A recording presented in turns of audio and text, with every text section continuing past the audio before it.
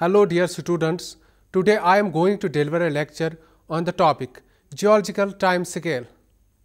Aims and objectives of this topic are to make the students know the meaning of geological time scale, to make students aware about the basic radiometric methods used in framing geological time scale, to know about various geological time capsules, to highlight important organisms which lived in various geological eras.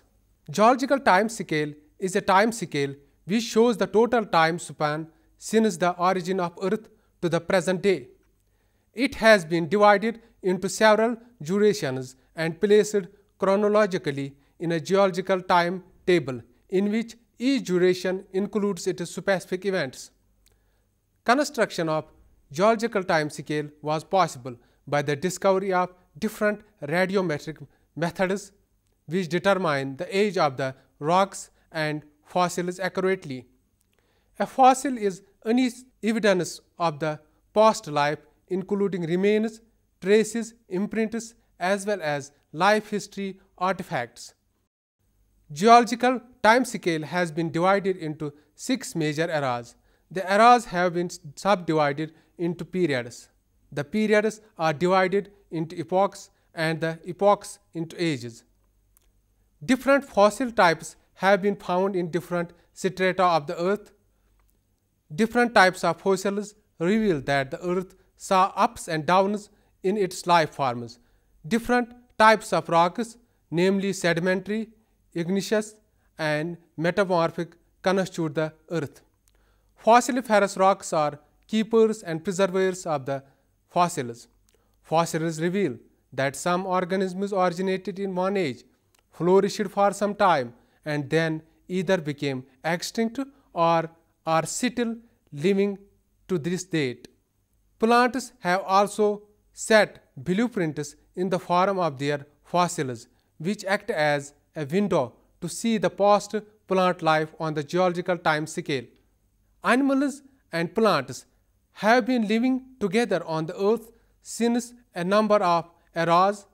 Geological time compares all organisms and their respective time periods during which they lived on the earth. The geological time scale embraces the history of the earth from its physical origin to the present day. A geological time scale is composed of standard stratigraphic divisions based on the rock sequences and is calibrated in years. The longest time period geologists use is called eon. Eons are divided into shorter time periods called eras and eras are divided into even smaller or shorter time intervals called periods. There are even shorter periods of time called epochs and ages. The first geological time scale was proposed in 1913 by the British geologist Arthur Holmes. Holmes estimated that Earth was about 4 billion years old geologists have divided Earth's history into a series of time intervals. The Earth carries the history of the geological events in its rocks. Sedimentary rocks are gold mines of fossils. They have been formed by the sedimentation and solidification of mud and sand in layers at the bottom of water bodies. Nicholas Steno argued that rock layers or strata are laid down in succession and that each represents a slice of time. It follows that the oldest layers are at the bottom and the youngest are at the top. With this understanding, geologists are able to determine the age of the rocks relative to one another. By assembling all these layers together, scientists have worked out what is known as stratigraphic column or record of the various ages of the rocks. This record spans 4.6 billion years of Earth's history. Dating the age of the rock is critical to reconstruction of Earth's history. Geologists lay on two basic methods of dating absolute dating and relative dating. Absolute dating establishes how many years ago a given event took place the most important method of absolute dating are based on the decay of naturally occurring radioactive elements. Relative dating places historical events in their correct order but does not yield numerical estimates of how many years ago the event happened. Relative dating is important because only some types of rocks and fossils can be numerically dated. So, all other evidences of ancient life must be related to age dated material by the techniques of relative dating. Now, stratigraphy and the principles of relative dating. Relative dating falls under the subdiscipline of geology known as stratigraphy. Stratigraphy is the science of rock strata or layers. There are four fundamental principles of stratigraphy that form the foundation of our understanding of our Earth's history. First principle is the principle of original horizontality. When sediments are laid down on the Earth's surface, they form horizontal or nearly horizontal layers. The another principle is the principle of lateral continuity. It states that rock layers extend for some distance over Earth's surface from a few meters to hundreds of kilometers. Now, the principle of superposition. According to this principle, as layers accumulate through time, older layers are buried beneath the younger layers. Now, let us talk about the principle of faunal succession. This principle is based on the variation of fossils, namely actual remains, petrifications, compressions, microfossils, incrustations, molds, casts, and imprints of different organisms. William Smith stated that different rock layers contain particular types of fossilized flora and fauna and that these fossil forms succeed each other in a specific and predictable order that can be identified over wide distance. Thus, a fossilized Neanderthal bone will never be found in the same stratum as a fossilized Megalosaurus because Neanderthal and Megalosaurus lived during different geological periods separated by many millions of years. This allows for strata to be identified and dated by the fossils found within them. Now, the Grand Canyon as an example of principle of stratigraphy. The Grand Canyon particularly exposes rocks spanning hundreds of millions of years of Earth's history. The oldest rocks in the Grand Canyon are exposed at the base of the gorge and are late Proterozoic. These rocks are overlain by younger Paleozoic age rocks. This is an example of superposition. Each major layer of sedimentary rock in the Grand Canyon contains different types of fossils. Absolute dating is the process of determining an approximate computed numerical age in the archaeology and geology. Relative dating provides only an order of events. Radiometric methods have been used for the age determination of rocks and fossils. Radiometric dating is based on the fact that the radioisotopes of certain elements decay at a constant rate and are converted into stable elements. By calculating the rate of disintegration and the amount of product formed since the age crystallized that is formed, it is possible to calculate the date of rock formation. Following are some important radiometric methods which are used for age determination and hence for construction of geological time scale. Radiometric dating by uranium lead method. Uranium is found in rocks.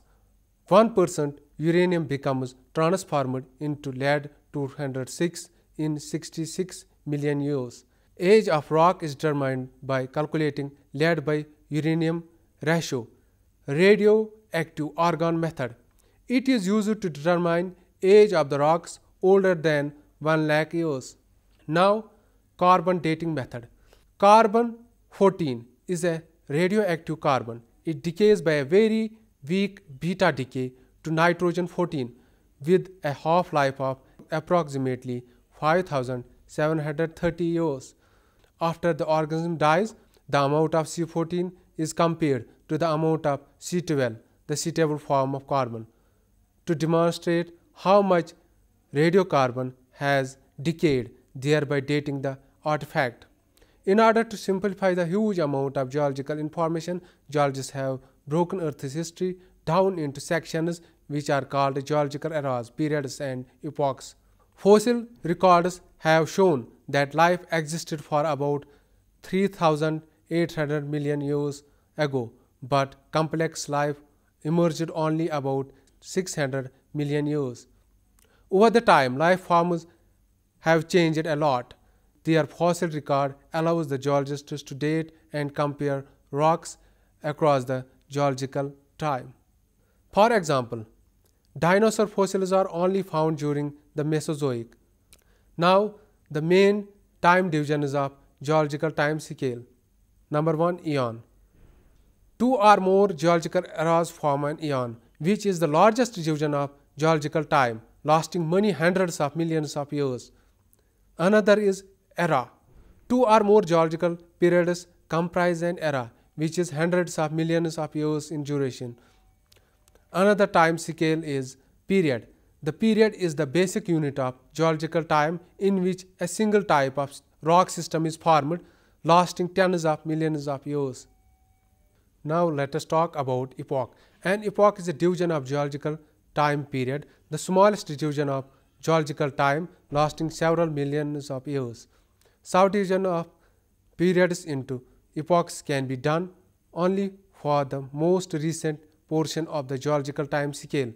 This is because older rocks have been buried deeply, intensely deformed and severely modified by long-term earth processes. As a result, the history contained within these rocks cannot be clearly interpreted. Now, age.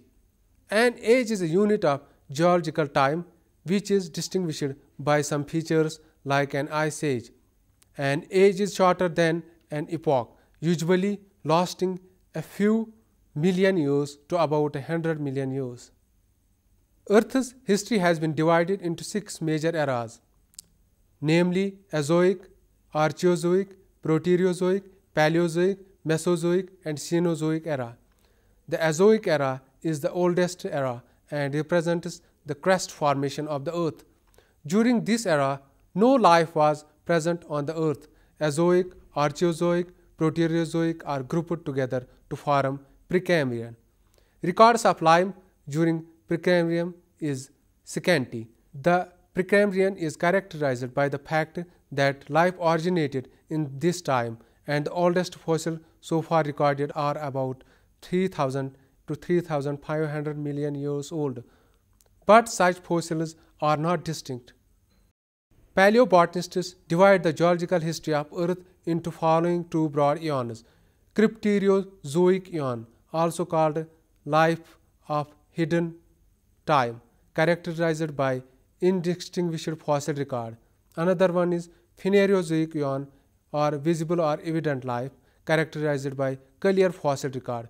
Crypterozoic eon that is Precambrian. This eon constitutes about 5 fifths of the total geological time and is characterized by the appearance of life in the simplest form.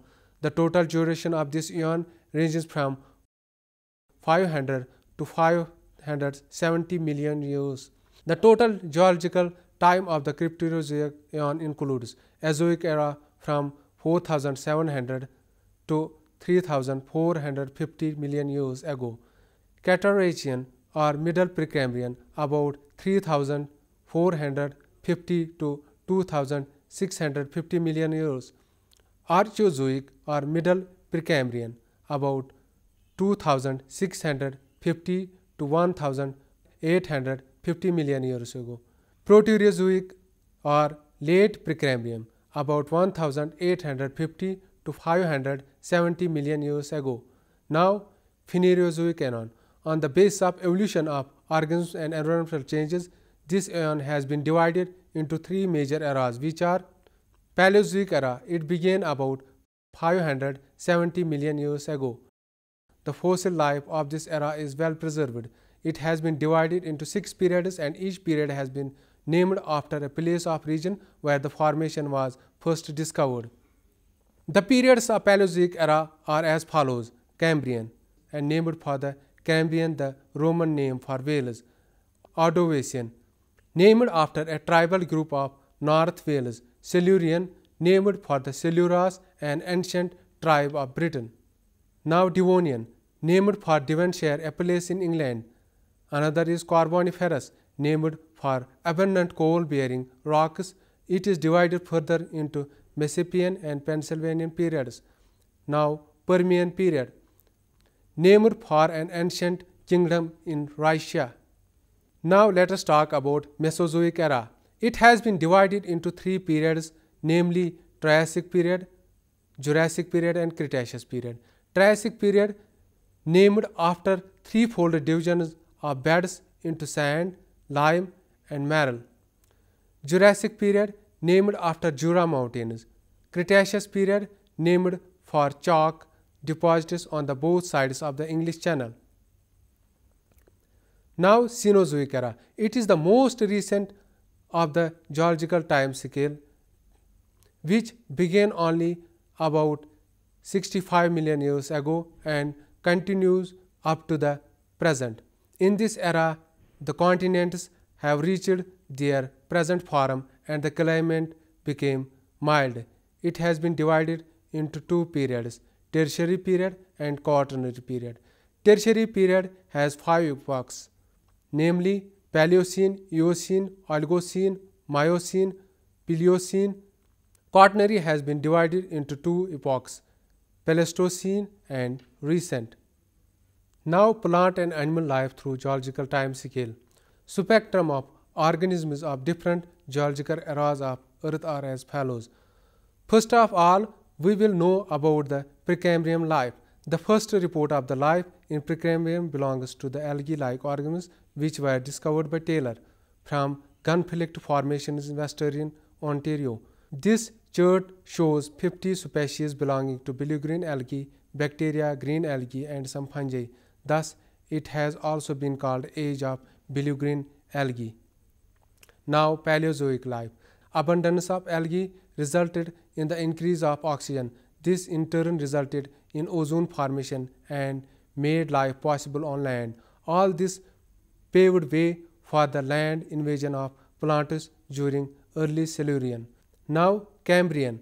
Two evolutionary events that marks this time are origin of eukaryotic organisms and the evolution of multicellularity. It witnessed Cambrian explosion which took place about 570 million years to 530 million years ago.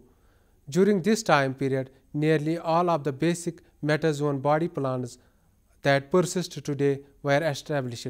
The Cambrian explosion is considered to be an explosion because fossil record is very rich in Cambrian. Now Ordovician. Vegetation of this period was same as that of the Cambrian except for some of the organisms which originated during this period. Cambrian and Ordovician constitute the early Paleozoic which is also known as the age of invertebrates. Now Silurian. This period showed the same vegetation as that of earlier two periods. It witnessed the origin of land vascular plants. Cooksonia is regarded as the oldest vascular plant having its origin about 420 million years ago. Arthropods invaded the land. Now Devonian. This period reported all plants except angiosperms. Most of the early vascular plants like Rhynia originated in the Devonian period. Trees like lycopods, giant horsetails, and ferns, Pteridophytes, gymnosperms, progymnosperms, and amphibians originated during this time. Both Silurian and Devonian periods are called the Middle Paleozoic because of the abundance of the algae and fishes. This is also known as Age of Algae and Fish. Now, Carboniferous. The Carboniferous period was marked by vast coal farming swamps the plant life included ferns and fern-like trees, giant horsetails called calamites, club mosses or lycopods such as Lepidodendron and Sigillaria, seed ferns and caudicelles or primitive caudates or primitive conifers. Land animals included primitive amphibians, reptiles. Now Permian. Land masses of the southern and the northern hemisphere were separated by the Tethys Sea. Land during this time was covered by forests of seedless vascular plants. The widely distributed seed ferns Glossopteris, which was apparently successful in resisting glacial conditions, was the most conspicuous development in the Permian flora. There was decline of lycopods, horsetails, and many marine invertebrates. Modern insects arose during this period. Both Carboniferous and Permian periods constitute late Paleozoic and is commonly known as age of amphibians and ferns. Now, Permian mass extinction or massive loss of life. The Permian extinction, the worst extinction event in the Earth's history, is estimated to have wiped out more than 90% of all the marine species and 70% of land animals. It occurred about 251 million years ago some scientists think a series of volcanic eruptions pumped so much debris into the atmosphere that sun was blocked out causing a significant drop in temperature and preventing plant photosynthesis which in turn caused food chains to collapse. Now Mesozoic era or era of medieval life. At the start of the Mesozoic era, the continents of the earth were jammed together into a supercontinent of Pangaea life recovered from the Permian extinction. While plant species had survived somewhat better than animals over the Permian extinction, new types of the plants developed to survive the changing conditions. Now Mesozoic era has three periods, Triassic, Jurassic and Cretaceous.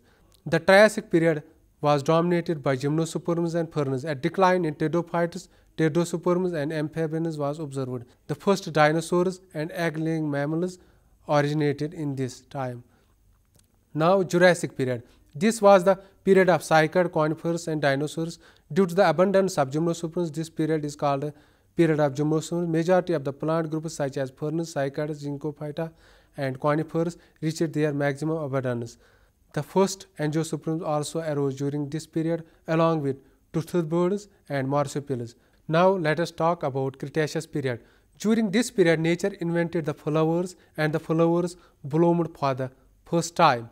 This period revealed more diverse flora. Cretaceous witnessed a decline of ferns and gymnosperms and rise and diversification of angiosperms. The oldest angiosperm leaf Dictyophyllum were recorded from this period.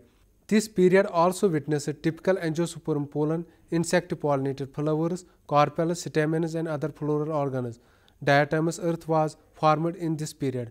Mesozoic pteridosperms became extinct in this period. A mass extinction ended the Mesozoic era. Another mass extinction occurred at the end of the Cretaceous period, bringing an end to the dinosaurs and the tropical forests.